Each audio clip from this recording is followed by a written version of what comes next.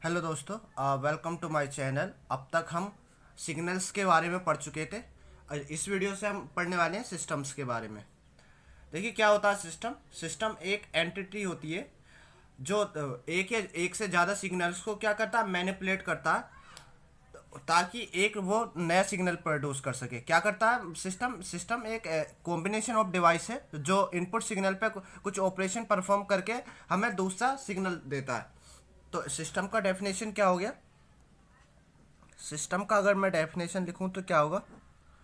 A system is defined as a system is defined as an entity that manipulates manipulates that manipulate sorry आइए। Manipulates P U manipulates that manipulates one or more signals one or more signals to accomplish a function thereby producing a new signal. Thereby producing a new signal. क्या करता है? System जो signal होता है, उसी पे कुछ ऑपरेशन परफॉर्म करेगा और हमें क्या देगा? नया सिग्नल देगा, ठीक है? तो क्या होगा? सिस्टम का अगर मैं ब्लॉक डायग्राम बनाऊँ तो किस टाइप का होगा? कोई ये सिस्टम होगा। उस पर मैं क्या करूँगा? इनपुट सिग्नल दूँगा अपना।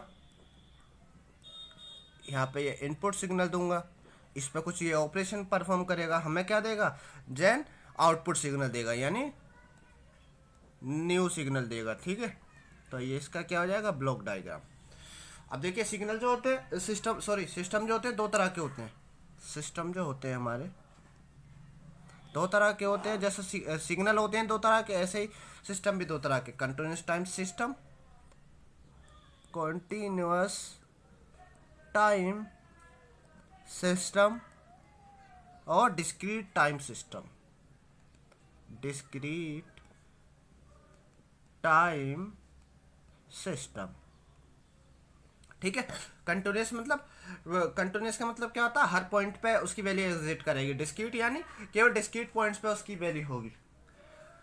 ये जो होते हैं दोनों इनको अगर इन दोनों को डिवाइड करो तो इनको हम डिवाइड करते हैं। देखो कितने टाइप के होते हैं ये?